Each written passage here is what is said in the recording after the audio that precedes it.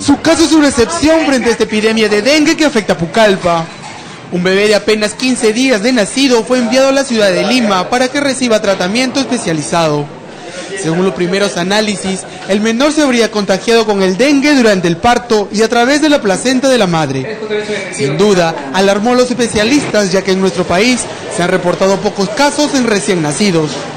El jefe de epidemiología en la región alertó que este es un hecho aislado, lo cual demuestra la agresividad del zancudo transmisor del dengue y su rápida evolución. Estamos investigando por qué esta enfermedad estaría teniendo un comportamiento especial, ¿no? O sea que ya se puede transmitir de la mamá a recién nacido, lo que no se ha visto. Dice, hay pocos casos de esto. Mire usted que el dengue ha cambiado tanto, ya no solamente se ha vuelto más agresivo, sino que este, se presume que puede ser transmitido también por vía placentaria. ¿no? Ita Velázquez, de 35 años de edad, tenía 32 semanas de gestación. Ella debió ser operada por cesárea luego que se adelantaran las labores de parto. Esta es la humilde vivienda donde el pequeño Carlos Daguiro tenía planeado regresar después de abandonar el hospital de salud.